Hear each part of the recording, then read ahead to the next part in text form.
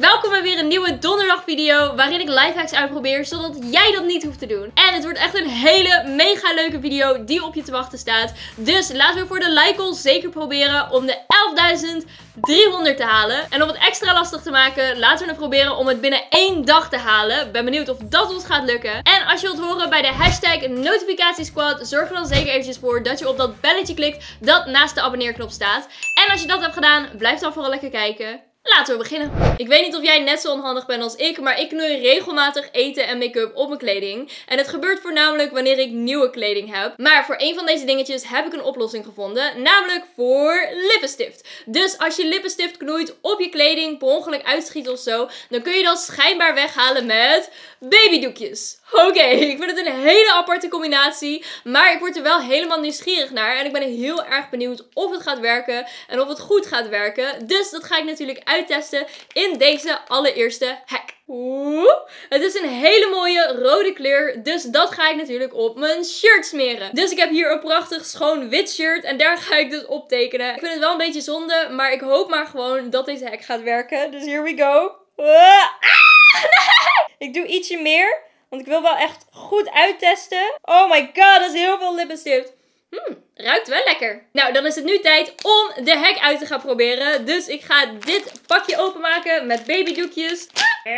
Dat doet me meteen denken aan vieze luiers. Gatsidari. Oké, ik vraag me eigenlijk best wel af of jij denkt dat dit gaat werken. Laat me zeker eventjes weten in de reacties onder deze video. Niet vals spelen door de video door te spoelen natuurlijk. En als je je comment hebt achtergelaten, dan gaan we nu kijken of je uiteindelijk gelijk hebt. Ik persoonlijk denk niet dat het gaat werken. Maar we gaan het zien. Ja, ik weet ook niet wat ik ermee moet doen. Maar daar gaan we. Wow! Er zit echt heel erg veel op het doekje. Alleen, um, ja, er zit ook nog steeds heel erg veel op mijn shirt.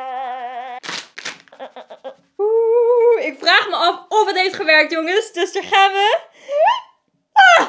Oh my god, het is nog erger geworden. Nou, ik zou zeggen dat deze hack echt totaal niet geslaagd is. Dus dit is echt een hele grote veel. Deze krijgt van mij twee duimen omlaag. Uh, uh, uh. In deze hack nummer 2 ga ik mijn telefoon op proberen te laden met iets anders dan een stekker. Namelijk met eten. En als je mijn andere lifehack video's hebt gezien, dan weet je waarschijnlijk wel dat ik dit vaker uitprobeer. En vandaag is het de beurt aan een ananas. En deze ananas is zo ontzettend groot. En hij ruikt zo heerlijk. Ik ben heel erg benieuwd of dit gaat lukken. En om heel eerlijk te zijn heb ik hier eigenlijk best wel een goed gevoel over. Ik denk dat het een beetje de pen pineapple apple pen magie is of zo. Dus ik zou zeggen, laten we de telefoon en de oplader erbij pakken. En dan gaan we het proberen. De telefoon zit aan de oplader. En vervolgens ga ik dit draadje hierin proberen te stoppen.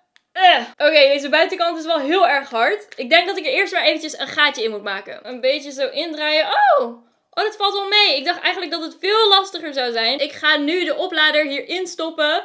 En oh my god, ik vind het zo ontzettend spannend, jongens. Ah! Zo. Ik kan het alleen niet zien. Nee! Nou, ik had er eigenlijk zo'n goed gevoel over. En ik vind het wel heel erg jammer dat hij het niet doet. Misschien moet er nog ietsje verder. Nee. Nou, dit is echt een mega grote veel. Dus tot nu toe heb ik nog niet zo heel erg veel succes gehad met het opladen van een telefoon met eten.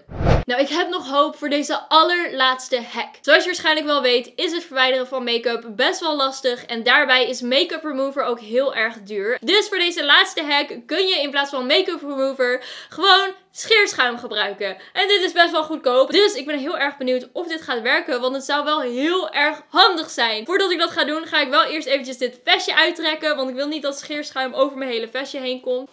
En tada! Oké, deze is helemaal uit de weg. En dan moet ik dit nog eventjes gaan schudden. En dan is het tijd om dit uit te gaan proberen. Dus ik zou zeggen, ik ga het gewoon op mijn gezicht smeren. En dan gaan we het zien. Here we go. Oh god. Ik hier ook nog even de rest doen. Zo. En dan goed verspreiden over mijn hele gezicht. Nou, ik ben er helemaal klaar voor. Het begint best wel te prikken, dus dat is niet zo fijn. Maar ik heb hier een uh, wattendoekje. En dan ga ik het er gewoon nu afhalen. Ik begin bij mijn ogen. Wow, ik kan weer licht zien. Oh, oh, oh my god! Wow, ziet er zo ontzettend apart uit. Wow. Oh, Het haalt inderdaad wel de foundation van mijn gezicht af. Want je kunt het echt helemaal zien op het watje. Oh.